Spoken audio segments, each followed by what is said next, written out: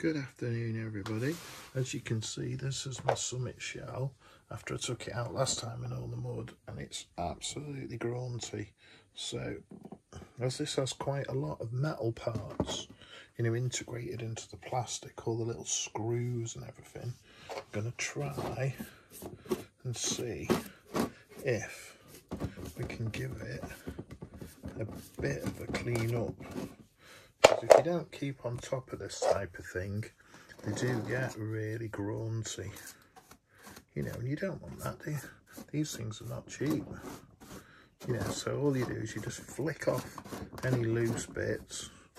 But this is just like a normal paintbrush I mean, I don't know how well this is going to work. I've used this technique on other stuff and it's worked out really well. And then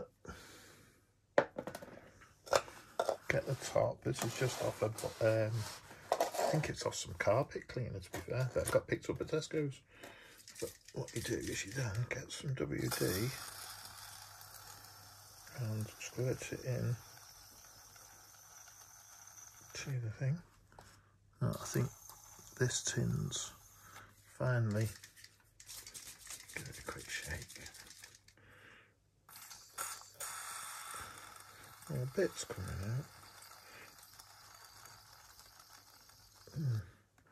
Not a great deal. Well, we'll have a go. We've got another tin here. Let's say I'm doing this live, so I've no idea how it's going to come out. But as I say, it did work on the Land Rover. It brought that up quite nice. The FTX one.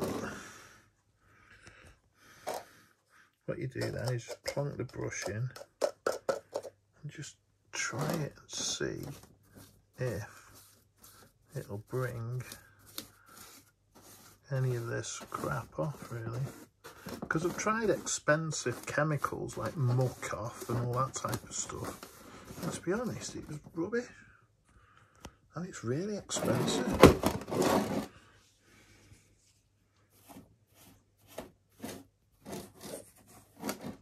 You know, for what it cost. Now, I'm not expecting this to get it totally immaculately clean, but if it gets some of it off and just protects the plastics. I'm not using my tripod because where I am, there's no room. Just slosh this stuff on. Doesn't help it's moving around.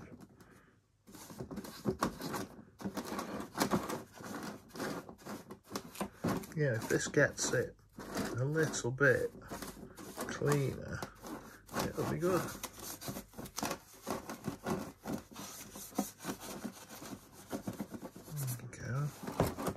And to be honest, the other thing with this doing it this way, a tiny bit of WD-40 goes a long way.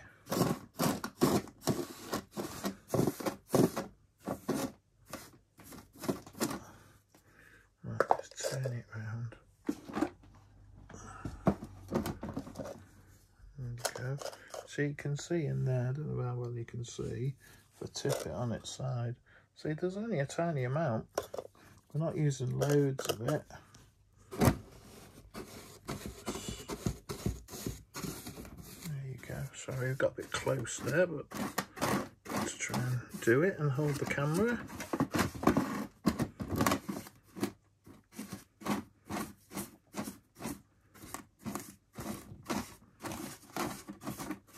But this um, don't know what you call it, like exoskeleton that's on the summit is held on with lots of little metal screws. This is why I use WD-40 because it gets all, stops them rusting.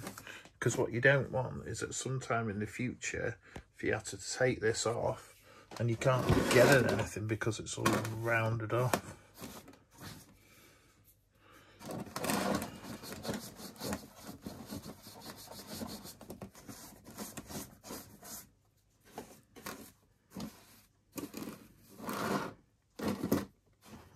There we go. I think for now I'm going to pause the video and uh, I'll get some paper towel or something and just give it a quick wipe over and see what it's come up like. Because the other thing with this process you don't really know how it's come out until it's dry. I'm sure. You see it's starting to look better but if you don't look after your RCs you know they're just not going to run properly. You're just going to end up you know broken clobber.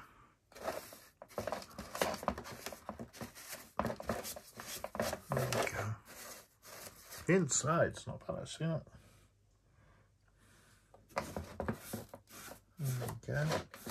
Right I'm going to let this dry and then give it a bit and then I've got some wipes which will probably get the last bits of it off hopefully.